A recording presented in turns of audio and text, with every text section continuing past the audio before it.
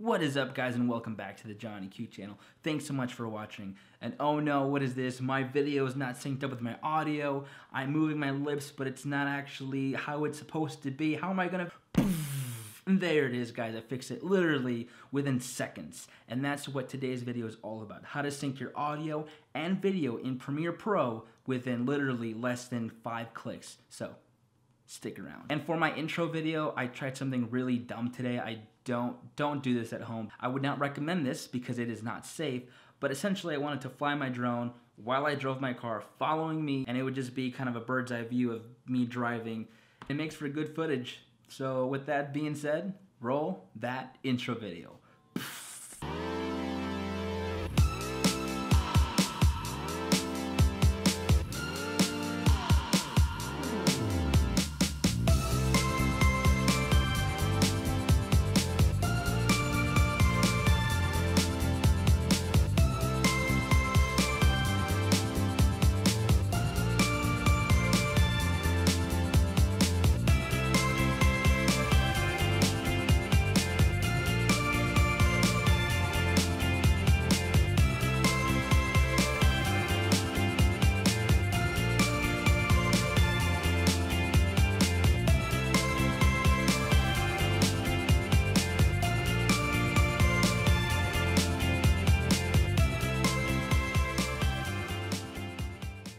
So you got everything recorded within your video. You got audio, you got video, you're set, you're good to go. You put it into your computer, open up Premiere Pro, and let's get into it. Yes, guys, it is that easy. You can get audio and video synced together within seconds with only a couple of clicks.